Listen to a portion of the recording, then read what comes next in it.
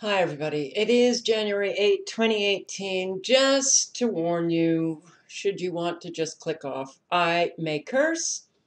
I am kind of fired up. I am so sick of Americans who are just not doing a thing as more and more tyranny is being cemented here in our country. It's obvious, it's in our face.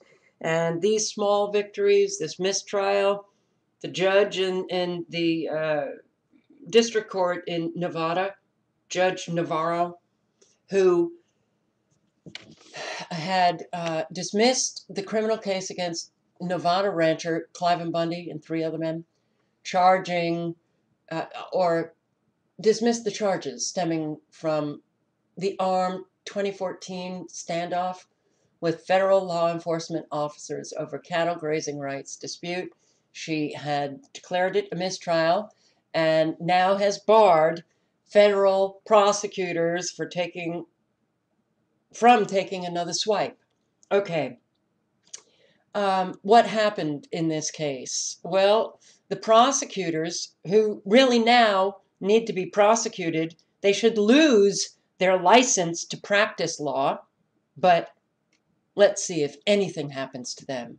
But they withhold, they withheld, sorry, evidence.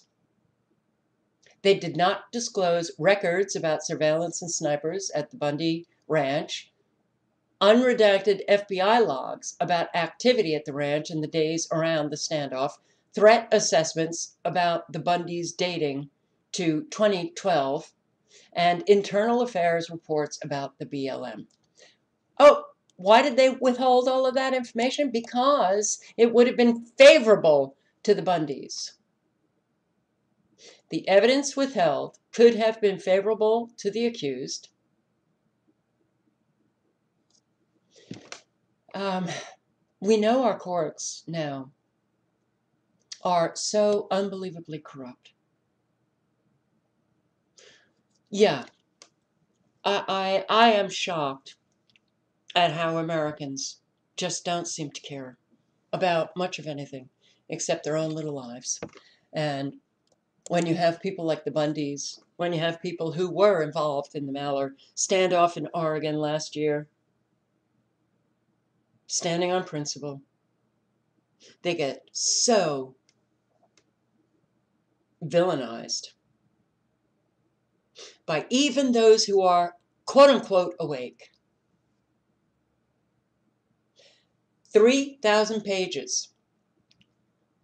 3,000 pages were provided to the Bundy's attorney after the start of the trial. That that is a gross miscarriage of justice it is prohibited. Prosecutors need to turn over all evidence, and they didn't. Will these prosecutors be prosecuted? I don't think they will be. Navarro, the judge, cited multiple willful evidence violations by prosecutors in dropping the case, saying they prevented a fair trial and amounted to prosecutorial misconduct. Attorneys, you know, that this is what happens in the legal system. Attorneys do things that really they should be cited for, sanctioned for, disciplined for, or disbarred for, but that almost never ever happens. Because you get, you know, into these professions and or organizations or institutions. Everybody protects their own. Because, well, that's just the way we roll here. Yeah. Don't hold anybody accountable. Just protect your own.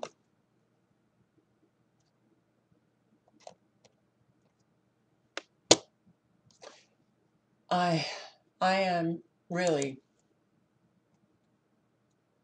none of this, none of what has taken place in Nevada with the Bundys And with the Hammonds, which I'm going to get to in one second, and I'm going to read a lot of this article.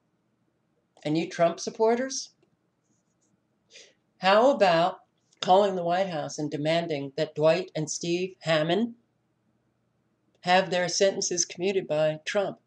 He wants to drain the swamp, right? These two men, ranchers, sitting in jail as domestic terrorists? You're just going to sit back and let Trump fix everything? Or are you going to be involved? Demanding that Trump free these innocent ranchers from prison. I'll get into that in one moment. But here, NPR. Judge dismisses federal case against Cliven Bundy and Sons. Bars retrial. Good. Good. Now, Navarro. I don't know what to say about this woman. Uh, here's a petition, and I'm not sure when this petition was uh, posted on change.org. How long ago? Is there a date? Can I find a date? Month ago. Um, well, did she finally break because public pressure got too much? Public pressure actually does work. so here's this petition. They got 10,770 signing it. They needed 5,000. Impeach Judge Gloria M. Navarro well, she finally did what they wanted her to do. But when you look at these charges, protesting against federal government overreach, that's what the Cliven, that's what the Bundys were doing. That's what the protests at the Malheur Refuge last year was all about. Now, we all know also that Oh, Harry Reid, his son, a communist Chinese energy firm that want the Bundy's land, all involved in this. You don't ever see mainstream media doing the work that they need to do today to inform the public. They leave out the Harry Reid stuff. They leave out this uh, energy firm. They leave out how the BLM and other agencies are stealing land from Americans out west. But local, state governments are stealing it all over from Americans. Listen, Russell Means. Russell Means Native American, he's dead now. What did he say? A country that is founded on deceit will die by deceit. And guess what? We're dying. Greed, corruption, lying has become so malignant now. We are dying. Because we could not figure out a way to turn the direction away from greed and corruption. And that would have entailed primarily holding people accountable. But very few Americans know how to do that. Very few Americans don't even care. Very few Americans just holding somebody accountable. Oh my God, I'm going to be confrontational then. Then people are going to judge me. I can't do that. We had here last year the Winbushes, the family that live about a half a mile away from me. Our local government, the city of Anderson, South Carolina, stealing their land, lying to the Wimbushes. eminent domain. We have the right to take more of your land, claiming that they were, it, it was mandated by the EPA to update their sewage plant and the sewer lines, but it was all lies because they laid down new sewage pipes for future development, and that is not what eminent domain is to be used for. But how many people showed up for the Wimbushes? Very few. And do I think that anything is ever going to change with our Americans, our fellow Americans? No, I don't. Because the comfortable just don't change. Hey, I got my life. I still have my home. I still have my property. I still have my job. I still can pay my bills. I don't need to change. I'm fine. And I can look at Americans who really do stand on principle as domestic terrorists. Protesting against federal government overreach. The fact it sold 9,000 acres of public land bordering Bundy Ranch and other people who own grazing rights to the division to a communist Chinese energy firm represented by Rory Reid, Harry Reid's son, for 4.5 million. 34.1 uh, million less than its value and began rounding up the Bundy's cattle and holding them in inhumane conditions, at least 60 purportedly suffering death or missing. And in order to suppress C4CF's education of the people, I'm not sure what C4CF is. So the Bundys were charged with conspiracy to commit an offense against the United States, conspiracy to impede and injure a federal officer, assault on a federal officer, threatening a federal law enforcement officer, use and carry of a firearm in relation to a crime of violence. They committed no violence. It was the BLM that showed up with their snipers, if you don't know what I'm talking about, then do some research on what was taking place in 2014. Obstruction of uh, the due administration of justice, interference with interstate commerce by extortion, interstate travel in aid of extortion, aiding and abetting among the political prisoners are Cliven, Ammon, Ryan, and Mel Bundy, Pete Santilli, Ryan Payne, Blaine Cooper, Eric Parker, Jerry DeLemus. Okay, so the judge did what was necessary. Maybe it became too obvious that she had to declare a mistrial. Maybe the public pressure led her to take this action. Or maybe she had a sense of, of, of justice. Maybe she has a conscience. I don't know. But this is very good for the uh, for the Bundys. Americans really need to take a realistic view of what is taking place in our country. You liberal progressives who hear this word militia and you get all, oh my God, militia. These are people who are actually fighting for your right these are people who fight for your constitutional rights. It's not the soldiers who were sent overseas, okay? They're not fighting for your freedom. They're not fighting for your individual rights. They're fighting for the elite who unleash them in other countries so that we can steal property wherever we want to steal it. Just like what our federal government did to the indigenous hundreds of years ago. Hey, sign this treaty. We'll betray it. We don't care. Stealing their land? Russell Means said it. We're all living on a reservation now, with our federal government, with our local governments, with our state governments, stealing Americans' lands. And they're getting away with it because, well, the betrayal of their fellow Americans who do nothing. These are the people who fight for your constitutional rights. Not the soldiers that you say, thank you for your service.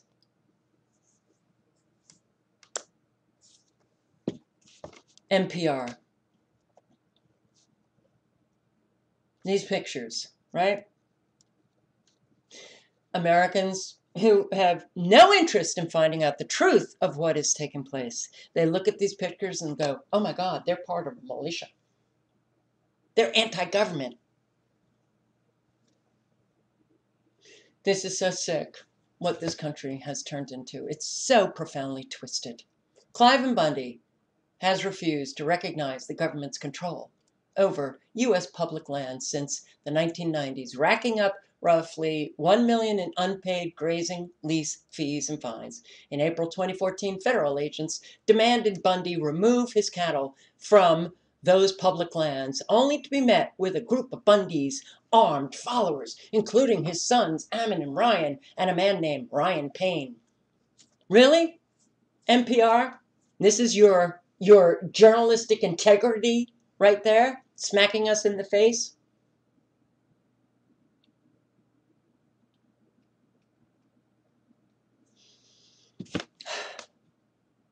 None of it true.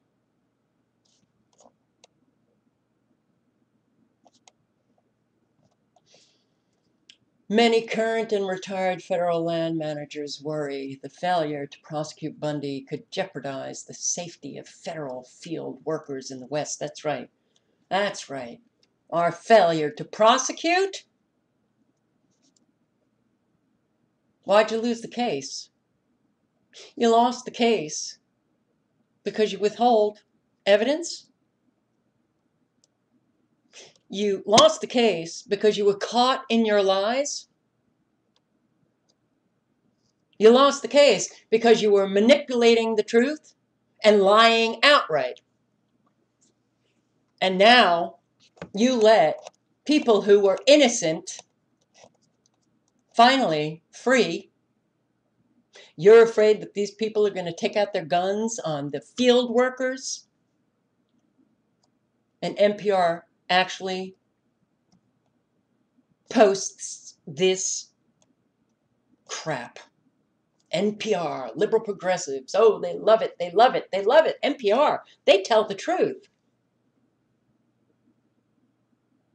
They don't. And it's like, you know, the, the Southern Poverty Law Center. Bundy sons lead anti government extremist militias and takeover of federal wildlife headquarters in Oregon. You know, they, they say this kind of stuff because the liberal progressives they love the Southern Poverty Law Center. They have so much respect for the Southern Poverty Law Center, not understanding that this is an arm of the elitists who want to take over this country.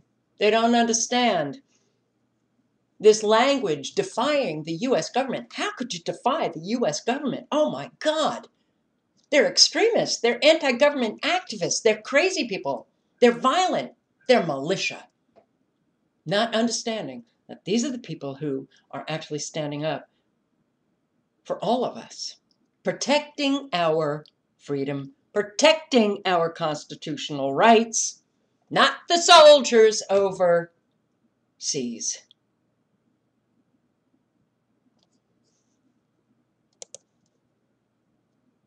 President Richard Cohen testified today about the threat of radical right terrorism before the U.S. Senate Subcommittee on Oversight, Agency Action, Federal Rights, and Federal Courts.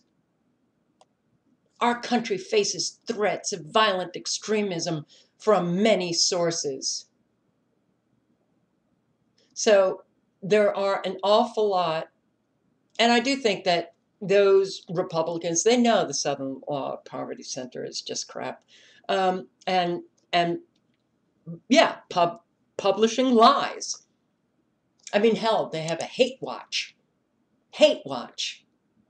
It's a blog that monitors and exposes the activities of the American radical right. Militia commander. These are people that we have to monitor. These are crazy people. How dare they fight for their own individual rights, for their own land that was, it's very obvious the BLM is stealing their land.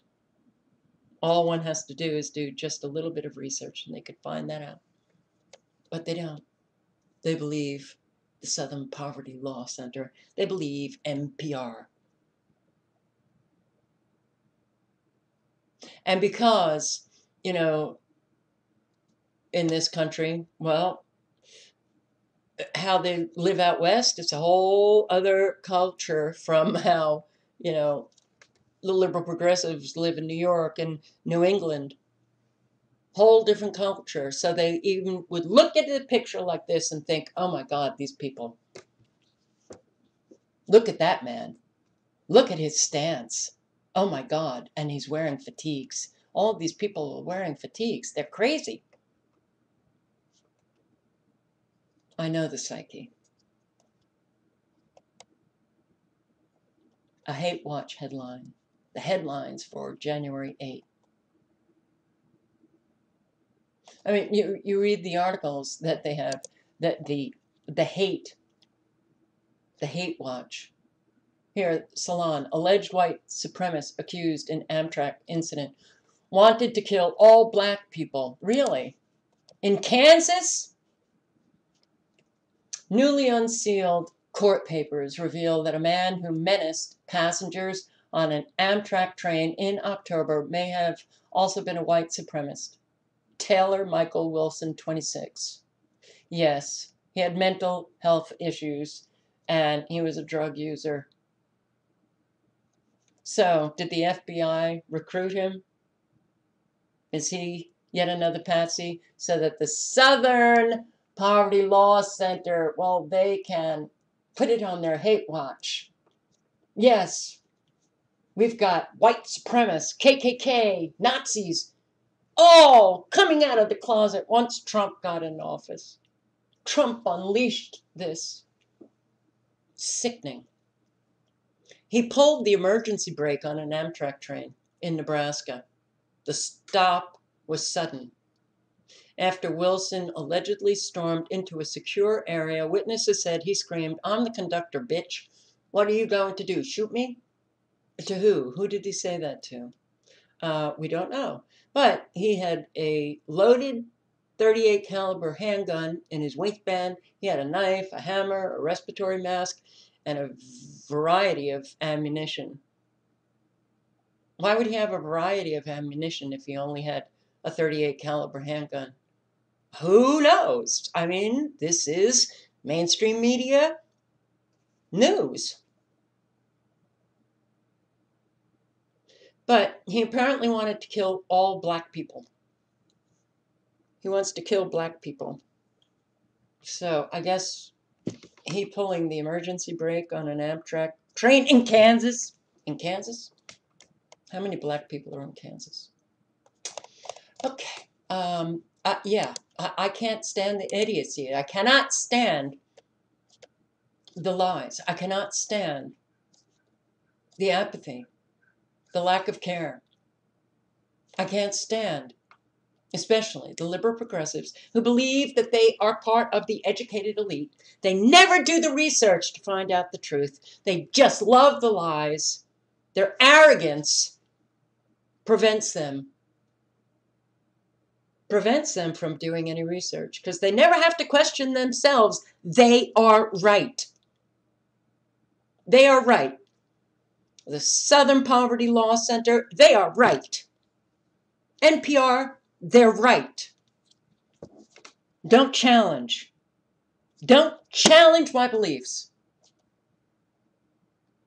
Don't ask me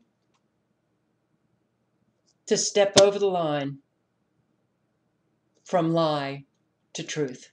Don't ask me to do that. You disrupt my comfort. Trump supporters. Why don't you call the White House? Demand that Trump commute the sentence of Dwight and Steve Hammond. Yeah, in jail for being a rancher. Dwight and Steve. Dwight, 78 years old, Steve, 50 years old, still in jail as domestic terrorists. That's our government today. Department of Interior, namely the Bureau of Land Management and U.S. Fish and Wildlife Service, have deployed their administrative powers to punitively regulate and maliciously prosecute the Hammond family of Oregon in a thinly veiled attempt to drive them off their ranch, their historic grazing allotments, and vested water rights. And when you really understand the truth of what is going on with the BLM doing to ranchers out west, what they did to the indigenous people, then you get a whole new perspective of what's going on. Our federal government, the BLM, through any means possible, stealing the lands, stealing land. When you read this, if you don't see the gross miscarriage of justice here with the Hammonds, then you are so far gone that you you should be you you should really just voluntarily lock yourself up because you're a danger to the human race. 1994, the BLM, the U.S. Fish and Wildlife Service, falsely arrested Dwight Hammond for protecting their legally owned water rights. And uh, they prevailed in court, and the Hammonds didn't countersue the BLM or the, the uh, Fish and Wildlife Service for damages and false arrest. So 20 years the Hammonds fought to be able to trail cattle um, on historic stock driveways. They had the rights, they got the documents, um, and what did our government do? Government records document repeated efforts by the agencies to prevent the Hammonds from using their historic right. The Hammonds were arbitrarily stripped of three BLM grazing permits and one Malheur National Wildlife Refuge grazing permit, gutting the economic viability of their ranching operation. The grazing permits were attached to the Hammonds' statutorily protected vested stock water rights and grazing preferences. Doesn't matter. We're going to strip them because we're government. And you can't question us. And if you do, then you're an extremist, domestic terrorist, you are anti government, and we're going to throw you in jail. It may take years, but we're going to do it.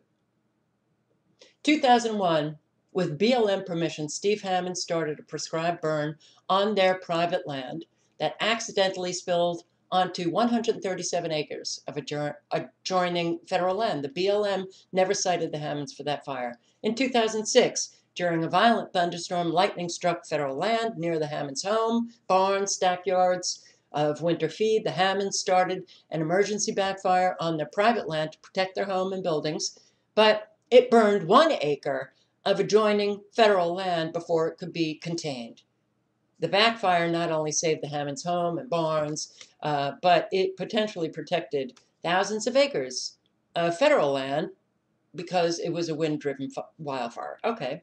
The BLM pursued criminal charges against Dwight and Steve. What, well, why? In 2001, the BLM didn't even cite the Hammonds for the fire that had spilled into 137 acres, but in 2006, they pursued criminal charges for one acre. The district attorney dismissed the case, dismissed all charges against the Hammonds.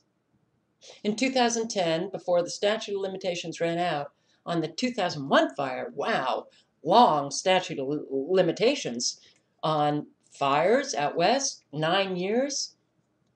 The BLM brought the Hammonds into federal court, indicting them on nine charges related to both fires. Why? Why did it take them so long? Why did they not cite the Hammonds in 2001? What's going on here? Oh, maybe there was ulterior motives of the BLM. Hmm, let's see if that's true. So rather than charging Dwight and Steve under the BLM's own land use statutes, prosecutors instead maliciously charged them as domestic terrorists under the Anti Terrorism Act of 1996. Really? Domestic terrorists for ranching? Ranchers are domestic terrorists today. So, there was a conviction against Dwight Hammond, now 78, Steve Hammond, now 50. But, oh, the government, the government was willing to drop all charges if the Hammonds would simply sign over two thirds of their ranch. Wow. Clear and obvious. Federal District Court Judge Michael Hogan, during sentencing, said, I will impose a sentence that I believe is defensible under the law, but also one that is defensible, de- defensible to my conscience. It would be cruel and unusual punishment for this crime to give them the mandatory minimum of five years. So Steven was sentenced to one year, Dwight 90 days, which they served, and they served it uh, with, you know, staggering it because the judge allowed the men to continue continue to operate their ranch. What were they charged for? They were charged because the BLM wanted their land. They weren't charged for the fire. Because if that were the case, you know, these arson things, very serious, they would have charged them in 2001 for the 137 acres that the fire had accidentally spilled into the federal land. Now they're getting them on one acre. So the Hammonds didn't go for this. I'm not signing over two thirds of my ranch to have these charges dropped. And counsel for the Hammonds failed to raise critical defenses and pleadings. So you got to be very careful about the attorneys that you get today because they may have already been co opted by the other side and you end up getting screwed by your own attorney. You've got to be very careful who represents you today. But their attorney pressured the Hammonds. The Hammonds' attorney pressured them to take a midnight plea deal to a partial verdict. The Hammonds understood the plea to mean that the case was over once and for all. They did not realize that in signing the agreement, they had waived all their rights to appeal, but the federal government had retained their right to appeal. Oh, an attorney needs to make that very, very clear. Clearly, the Hammonds attorney did not. So, what happened? Once the ink was dry on the plea agreement, the government prepared an appeal to the Ninth Circuit Court of Appeals. In a separate but related civil case, the Hammonds were fined $400,000. They signed that agreement under duress, giving the BLM the first right of refusal should the Hammonds be forced to sell their ranch. 2015, the Department of Justice, uh, the Department of Interior appealed to the Ninth Circuit Court of Appeals, and the court ordered the Hammonds to be resentenced for the full five year term beginning January 4, 2016 and they were incarcerated in federal prison in Southern California. Do you not see that it's all about stealing the land? That it's all about destroying the ranchers? Because our federal government wants the land. They want to sell it to the Chinese. People like Harry Reid want millions and millions of dollars. So Harry Reid even called the Hammonds domestic terrorists. For the rule of law to mean anything in this country, it must be applied equally to everyone, not selectively. To private citizens for ulterior motives, ulterior motives. Federal employees receive immunity for the same act for which the Hammonds were charged criminally and sent to prison in a manner even the trial judge found to be egregious. Even more troubling is the long history in the Hammond case and others of federal administrative and prosecutorial powers being weaponized in what appears to be a concerted effort by the BLM, aided by the Department of Justice, to take property without compensation and extort exorbitant fines for law abiding ranchers. While government abuse of power is not uncommon, it is uncommon for a 78 year old man and his son, both of whom have exemplary records, to be sent to prison as domestic terrorists for an accidental fire. So, Trump supporters demand that Trump commute their sentences. Demand it. Demand it.